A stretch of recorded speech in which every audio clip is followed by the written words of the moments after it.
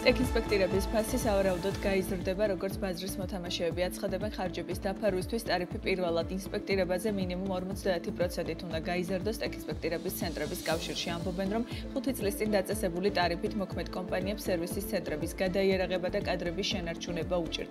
ფასის ზრდაზე კი მოლაპარაკებები ეკონომიკის სამინისტროსთან უკვე დაწყებულია. ტექინსპექტირების ცენტრების კავშირის აღმასრულებელი დირექტორი გიორგი შიოლაშვილი გვერდება პირდაპირ ეთერში თემაზე სასაუბროთ. დილომშვიდობისა და გამგეები, მადლობა რომ გვერდ ფართობით მოსპინგ სტუმრობთ გადაცემაში.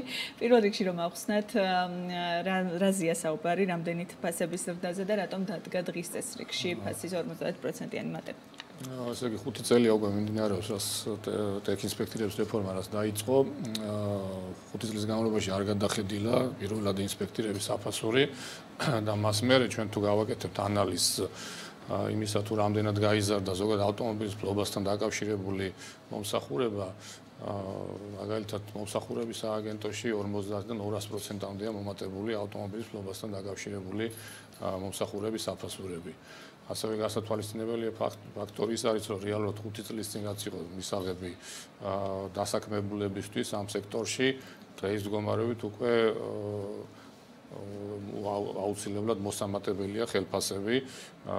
ისედაც სადაც 36%-ამდე ზრდა არის საშუალოდ სექტორში, ამ სექტორში დასაქმებული პირებისთვის გადინების პროცენტი ჩვენ ქონდა დაახლოებით 50 და მეტი პროცენტი 2023 წელს და აქედან გამომდინარე დადგა საჭიროება რომ გადაიხედოს ტექინსპექტირების პირველადი მომსახურების აფასური. მახსოვს რომ ამაზე საუბრისას ამბობდით ხარჯების დაფარვისთვის გჭირდებოდათ მეორადი ინსპექტირება რომ ფასიანი გამხდარი იყო ეს უშველი და ასე ვთქვათ და დააბალანსებდა ამ გაზრდილ ხარჯებს და ასევე ის რომ ჩართულიყო კამერები გამონაბოლქვზე კონტროლი გაძლიერებულიყო და ეს აიძულებდათ მძღოლებს ვთქვათ უფრო მეტად მოსულიყვნენ ექსპექტირების ცენტრებში და რაოდენობის ზრდა ასევე იქნებოდა ამის წინაპირობა. გაამართლა თუ არა ამ მეორადმა ინსპექტირებმა ფასიანი რაც გახდა ამან ხარჯების ზრდას რამდენად შეუწყო ხელი? მეორადი განმეორთ ინსპექტირება ინსპექტირება რაც ფასიანი გახდა, მას შემდეგ განმეორთ ინსპექტირების პროცენტულობა შემცირდა სადღაც 35-40%-დან ჩამოვიდა დაახლოებით 20%-ზე. რაც იმით არის განპირობებული უფრო მეტად მომზადებული ავტომობილებით მიდიან ტექინსპექტირების ცენტრებში. რეალურად ეს ფინანსურ ნაწილში არასახულა ტექინსპექტირების ცენტრებზე, რადგანაც ფლიანობა შეიძლება ითქვას სადაც 5%-იანი მატება არის ამ სერვისის გაფასიანებიდან გამომდინარე.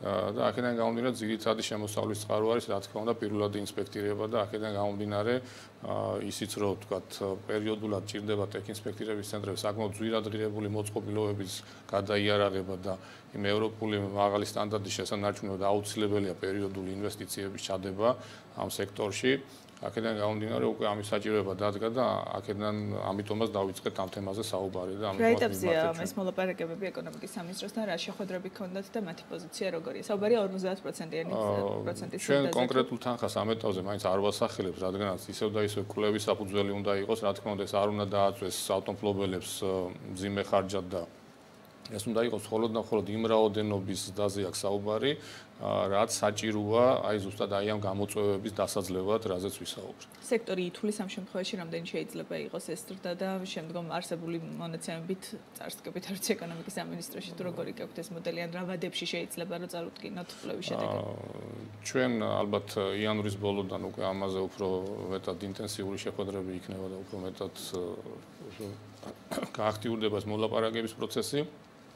და ნახოთ ნუ ვიმედოვნებთ რომ ასე ვთქვათ, გაითვალისწინებენ ამ ჩვენს თხოვნას და სექტორის ამ გამოწვევებს და გადახედილი იქნება პირველადი ტექნიკის ეს უფრო ხომერჩი ამცირებს ერთო რაოდენობას ტექნისპექტირებაზე მისული ძღოლების. აა ფასების ზრდა, იმიტომ რომ ეს არსებული ტარიფი ძალიან ბევრისთვის მოუღებელია და ფასის გამო ბევრი იკავებს თავს აქ ამ ნაწილში როგორი მოლოდინები გაქვს. ხო, ფიქრობ რომ არ არის ახლა ეს ტარიფი ვთქვათ, ავტომობილ როგორც აღნიშნე ავტომობილის ფლობასთან დაკავშირებული ყველანაირი მომსახურების საფასურები გაზრდილია და რეალურად აა იქიდან გამომდინარე რომ საწვავის ფასის გათვალისწინებით ამ ყველაფრის გათვალისწინებით ვფიქრობ არ უნდა იყოს ეს ძიმე ტვირთი ავტომობილებისთვის თუ გადავხედოთ 2023 წლის სტატისტიკას 2022 წელთან შედარებით მომატებულია მიმართვიანობა 9-17000 ავტომობილი იყო პირველად ინსპექტირებაზე წარდგენილი ტექ ინსპექტირების ცენტრებში რაც რამდენიც ზრდაა წინა წელთან შედარებით? 799000 იყო 2022-ში და აქედან გამომდინარე, ნუ საკმაოდ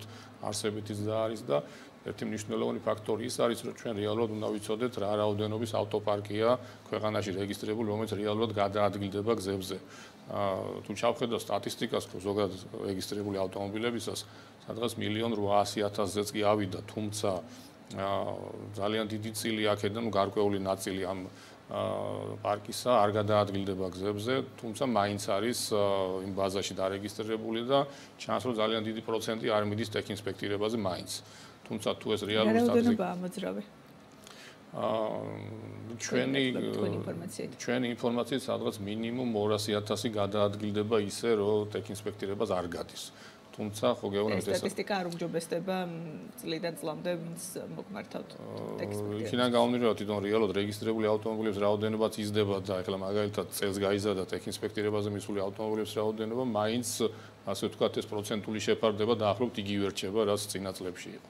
რას რა შეუწყობს ხელს ამ პროცესს? გამონაბოლქვის ზემო კონტროლმა რამდენად წაახალისა და დაასტიმულირა ეს პროცესი. ამ რა შედეგი გამოიღო და რამდენად კარგად მუშაობს ჭკვიანი კამერების ნაწილი ამ კუთხით? აა ჭკვიანი კამერების ნაწილში ალბათ მაინც არის გარკვეული ლოკაციები სადაც არ არის სრულად დაფარული.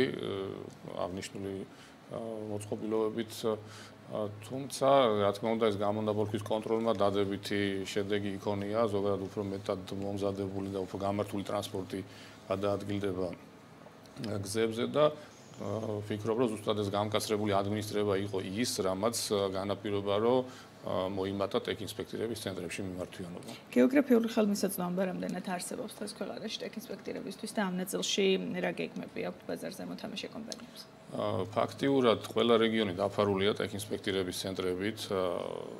კარგად მოგეხსენებათ, რომ გეოგრაფიულად ძალიან დიდი ქვეყანა არ ვართ, თუმცა ფაქტიურად სადღაც ყოველ 50 კილომეტრში მინიმუმ მაინც არის იმის საშუალება, რომ ტექინსპექტირების ცენტრს მიმართოს ადგილობრივმა ცხოვრებმა.